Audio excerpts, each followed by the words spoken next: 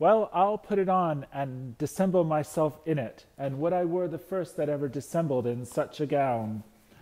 I'm not so tall enough to become the function well, nor lean enough to be thought a good student, but to be said an honest man and a good housekeeper goes as fairly as to say a careful man and a great scholar, for as the old hermit of Prague that never saw pen and ink very wittily said to a niece of King Gorboduc, that that is, is.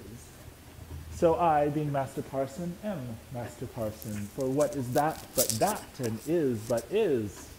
What ho, I say! Peace in this prison. Who calls there? Uh, Sir Topaz the curate, who comes to visit Malvolio the lunatic. Uh, Sir Topaz, Sir Topaz, good Sir Topaz, go to my lady and tell. Hyperbolical fiend! How vexest thou this man? Talkst thou nothing but of ladies? Sir Topaz, never was man thus wronged. Good Sir Topaz, do not think I am mad. They have laid me here in this hideous darkness. Fie, thou dishonest Satan! For I call thee by most modest terms, for I'm one of those gentle ones that will use the devil himself with courtesy. Sayest thou that house is dark? As hell, Sir Topaz. Why, it hath bay windows transparent as barricadoes, and the clerestories to the south north are as lustrous as ebony. And yet complainest thou of obstruction? I am not mad, Sir Topaz. I say to you, this house is dark.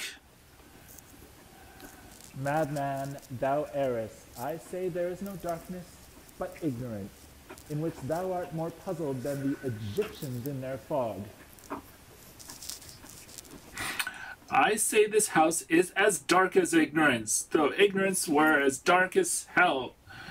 And I say there was never man thus abused. I am no more mad than you are. Make the trial of it in any constant question.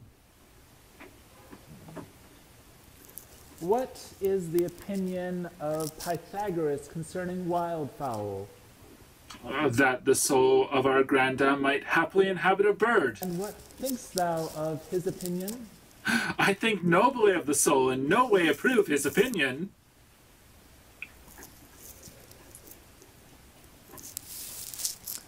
Fare thee well, remain thou still in darkness.